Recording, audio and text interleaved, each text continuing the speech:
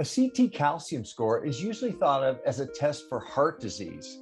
But did you know that it's also for Alzheimer's disease, diabetes, stroke, cancer, and other chronic diseases? Stay tuned and we'll find out why. This talk is dedicated to my friend Steve, who is thin and healthy and decided to get a CT calcium score.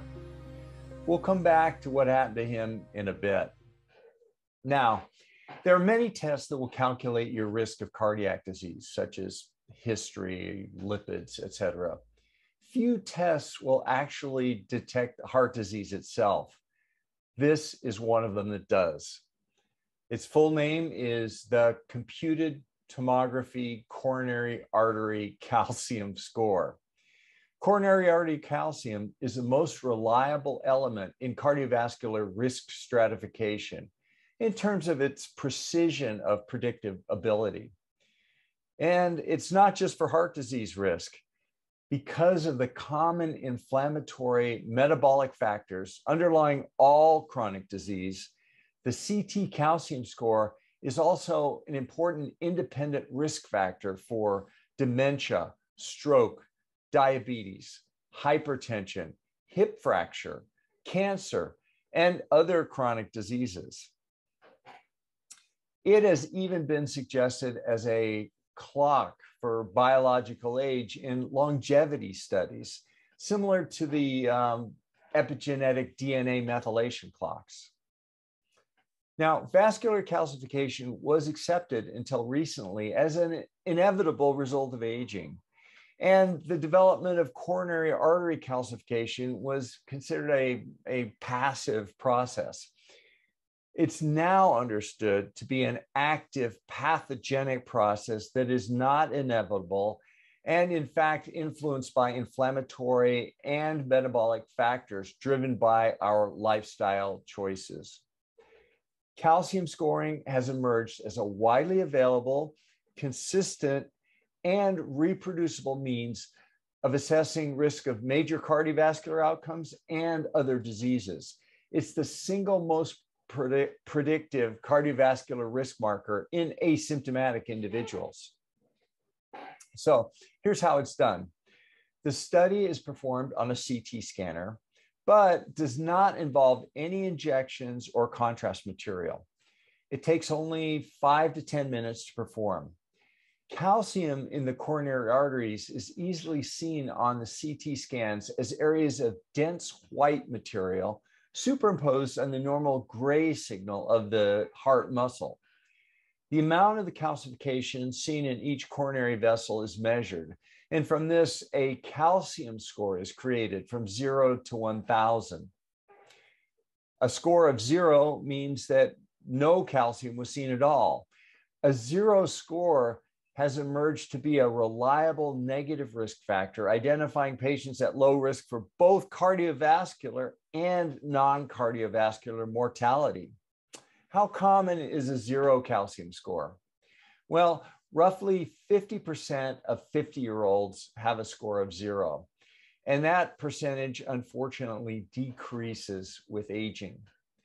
A score of one to 100 is increased risk with roughly twice the risk of death.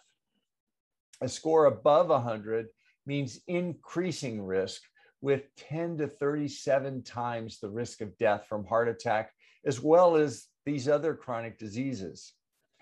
Some studies have reported that the value of CT calcium for ruling out obstructive coronary artery disease is higher than the reported results of any stress imaging testing, including stress echocardiography and SPECT myocardial perfusion imaging. One group has even proposed using CT calcium scores to rule out heart attack in the emergency setting. What about follow up? Since the interscan variability of CT calcium score is low, quantitative estimates of the score progression are possible. Calcium scores typically increase by about 20 to 25% per year as the disease progresses. About 20% of individuals with a score of zero progress to a score greater than zero within four to five years. For those with a zero score, because the risk of progression, even in those with a zero score, we recommend follow up in that group in three to five years. Those with elevated scores should be in an aggressive lifestyle program to stop disease progression. And they can recheck in 12 months to monitor progress. Success in managing the, the disease rarely results in reversal of the score since the calcium is actually located in the scar of the vessel itself. Instead, the goal of slowing progression to 5% mm, or less per year is associated with a greatly improved risk profile. As mentioned, the calcium score is not just about heart attacks. Given its role as a sort of risk integrator, there is increasing interest in the role in predicting in this role of the score in predicting non-cardiovascular outcomes. The calcium score has been shown to predict incident cancer, diabetes, chronic kidney disease, stroke, chronic obstructive pulmonary disease, Alzheimer's disease, and hip fracture, independent of age, sex, or other risk factors. As such, it may play a role in longevity management as sort of a biological clock, similar to the DNA epigenetic methylation clocks that we mentioned. Now, what about my friend Steve? He had his test and was surprised to find his score was elevated to 163. He immediately spoke with his cardiologist, who reassured him that such a score is normal or expected for 70 year olds, most of whom have elevated scores.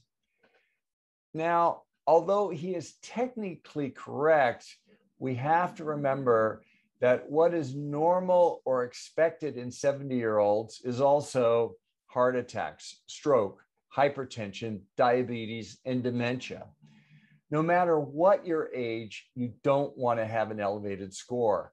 So instead of normal, our goal should be optimal, which is a zero calcium score, or if it is elevated, then immediate aggressive lifestyle changes should be undertaken to stop any progression of disease on a subsequent follow up scan 12 months later.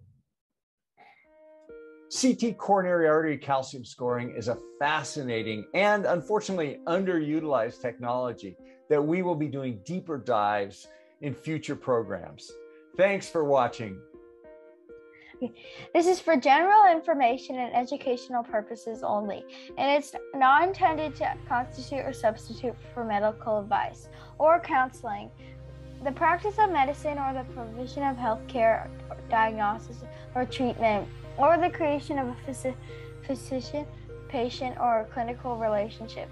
The use of this information is at their own, uh, own user's risk. If you find this to be on the value, please hit that like button to subscribe to support the work that we do on this channel. And we take the, your suggestions and advice very seriously, so please let us know what you'd like to see on this channel. Thanks for watching, and we hope to see you next time.